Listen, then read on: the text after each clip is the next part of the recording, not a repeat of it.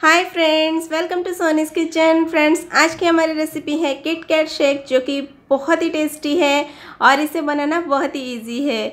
बच्चे, बड़े सबको पसंद आती है तो फ्रेंड्स इस चिल्ड्रंस डे पे आप ये किट कैट शेक बनाइए और अपने बच्चों को सरप्राइज़ कीजिए। तो चलिए स्टार्ट करते हैं let's start friends Kit Kat shake बनाने के लिए मैंने यहाँ पे एक ग्लास चिल्ड मिल्क लिया है दो पैकेट किटकैट के ले लिए हैं, थोड़ी सी चोको सिरप लिया है और ये होममेड विप क्रीम लिया है। और इसके साथ साथ हम टू स्कूप्स ले लेंगे आइसक्रीम वेनिला आइसक्रीम मैंने इसे फ्रिज में रखा हुआ है। ये जार में हम मिल्क डाल देते हैं। तो फ्रेंड्स, ये मिक्सर जार में हमने दूध डाल दिया है। अब हम इसमें किटकैट के स्टैंड्स को तोड़ करके डाल देंगे। मैं इसमें दो स्टैंड बचा लूँगी, जो कि हमें गार्निशिंग के लिए यूज़ होगी। फ्रेंड्स, आप चाहे तो इसमें डार्क चॉकलेट भी थोड़े से डाल सकते हैं, अगर चॉकलेट फ्लेवर ज़्यादा पसंद करते हैं तो।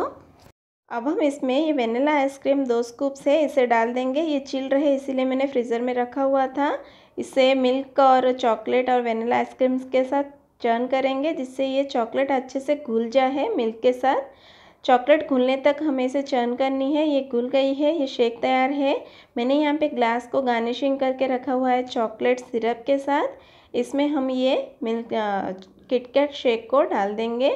फ्रेंड्स, ये किटकैट शेक बनाने के लिए मैंने यहाँ पे डेढ़ ग्लास दूध यूज़ किया है, दो ग्लास शेक के लिए।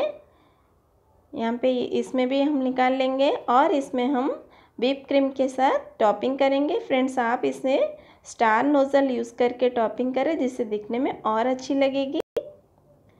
और इसके ऊपर हम चॉकलेट सिरप और चॉकलेट चिप के साथ गार्निशिंग करेंगे। फ्रेंड्स, आपके पास अगर चॉकलेट चिप्स नहीं है तो आप इसके ऊपर सिर्फ़ किटकैट चॉकलेट को तोड़ करके टॉपिंग कर सकते हैं।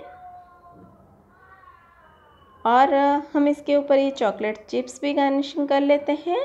और किट कैट के जो हमने स्टैंड दो बच्चा लिया था, साइड में रखेंगे। वाओ। देखिए तैयार है हमारा किट कैट शेक। इस चिल्ड्रंस डे पे आप ये किट कैट शेक को ज़रूर बनाइए। खुद भी पीजिए और अपने बच्चों को पिलाइए। उन्हें तो ज़रूर पसंद आएगी। सो so फ्रेंड्स आपको अगर ये रेसिपी अच्छी लगी तो मेरे वीडियो को लाइक करें और शेयर करें अपने डियर वन के साथ ये रेसिपी को।